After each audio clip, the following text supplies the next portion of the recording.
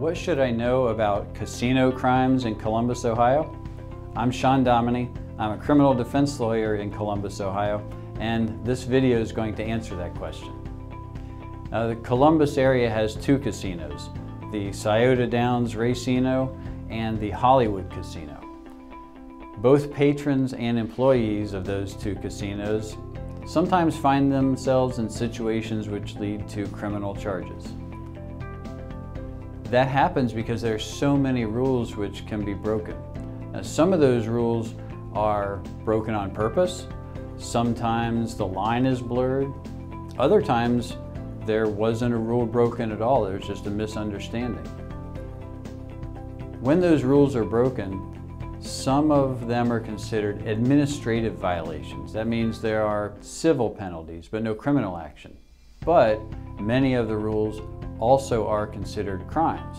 In fact, the Ohio Casino Commission is considered to be a law enforcement agency and its investigators are certified peace officers.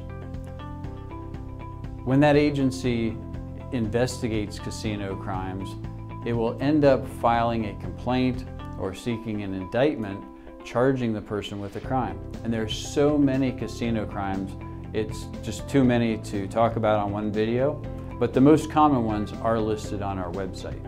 What you should know is some of those are categorized as misdemeanors, but some of them are categorized as felonies. So violations get very serious. In addition to what I've labeled as casino crimes, there are also many crimes committed at a casino, which are not necessarily casino crimes, but they just happen to take place there like assault, uh, trespass, disorderly conduct, uh, false identification, theft, obstructing official business, and resisting arrest. Those are the most common ones that are just generally crimes but happen to take place at the casino.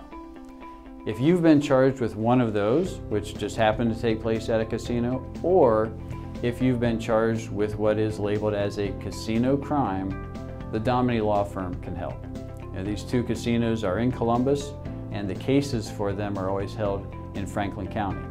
Our office is in Columbus and we practice mostly in Franklin County.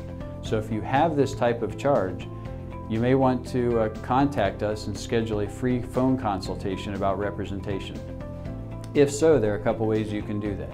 You can call the number on the screen or you can submit a contact form on our website. In any event, we hope this information about casino crimes has been helpful.